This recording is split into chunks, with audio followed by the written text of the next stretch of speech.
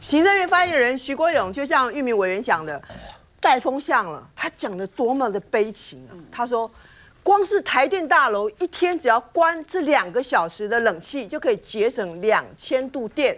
如果全国的公家机关一起省，省的电是非常可观的。这个省其实就是限电了哈。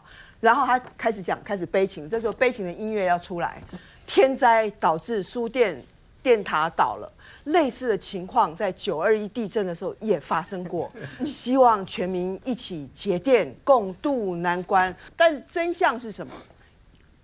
九二一的时候，我们调出资料来看，九二一为什么会为什么会缺电？当时北部需求的电是一千零七十五万千瓦，然后呢，占全台湾用电量四十五 percent，这么多，快五成了。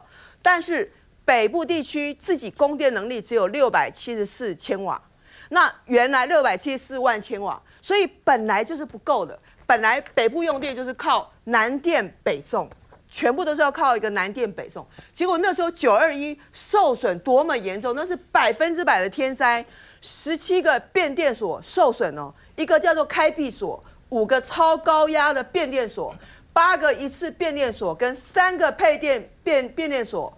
全部总共六百二十二座都受损，这么严重的九二一，那是百分之百的天灾。而这一次只不过就是一个 一百三十万千瓦的一个电塔，这赵鑫，这徐国勇这个悲情戏，他敢这样演？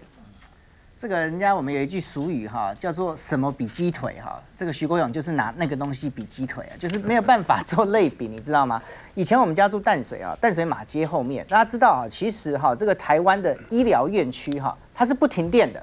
唯一我在那边住了二十年，唯一一次停电是什么时候？就是九二一。为什么？因为九二一把台湾整个电力系统的供输系统遭受到系统性的这个损坏，那没有办法，那是全台湾的大地震。可是今天的状况是什么？是和平一个区域性的小小电塔被冲倒而已，它的供电量只有一百三十万瓦，这么局部性的，你就好像是你今天如果说九二一，如果说是断手背，两只都断了。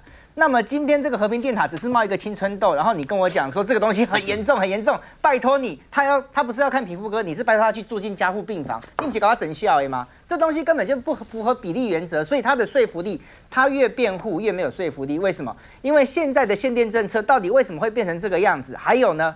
这个一点到三点确实是最热的时候，你这个时候，结果你让大家不能够开冷气，是怨声载道。我们在立法院里面进去，人家都讲说，现在的立法院每一间办公室有浓浓的人情味啊。